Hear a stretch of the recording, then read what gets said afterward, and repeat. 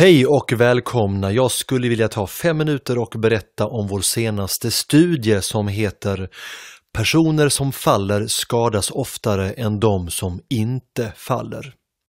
Och bakgrunden till den här studien är att frakturer på äldre människor, framförallt kvinnor, är mycket vanligt. Till exempel har en tredjedel av alla 80-åriga svenska kvinnor haft en höftfraktur och 90% av frakturerade patienter har fallit på något sätt.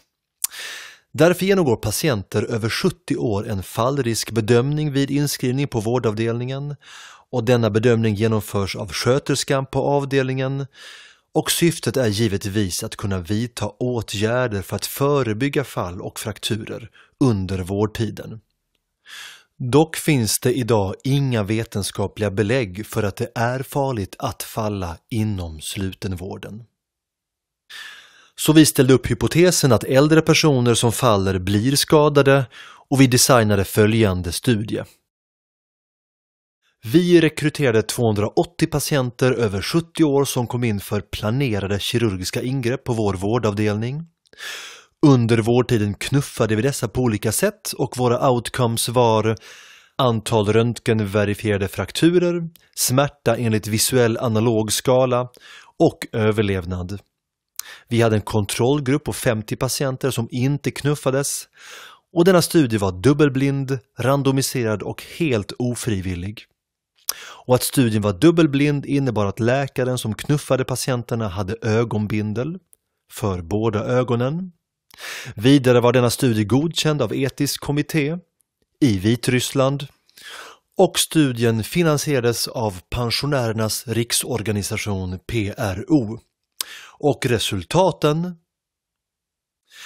Ja, den här figuren talar ju för sig själv. Knuffade patienter har alltså en femfaldigt ökad risk för fraktur. Och denna skillnad är signifikant och denna skillnad går igenom i samtliga subgruppsanalyser. Det spelar ingen roll om det är kvinnor eller män, om de virkar eller äter punschpraliner. Vidare tittade vi även på knufftekniker och även här såg vi en signifikant skillnad.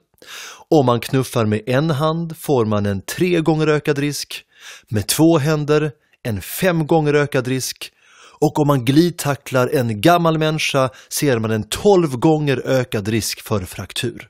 Ganska fantastiskt. Och slutligen är det även intressant i vilken lokal man knuffar äldre personer. En knuff i en korridor ger trefaldigt ökad risk för fraktur. Om man knuffar dem i trappan, åtta gånger ökad risk. Och om man knuffar ut dem från avdelning 56 får man en 90 gånger ökad risk för fraktur. Avdelning 56 ligger på tolfte våningen. Och vi såg även att den ökade frakturrisken var tydligt korrelerad med smärta och minskad överlevnad.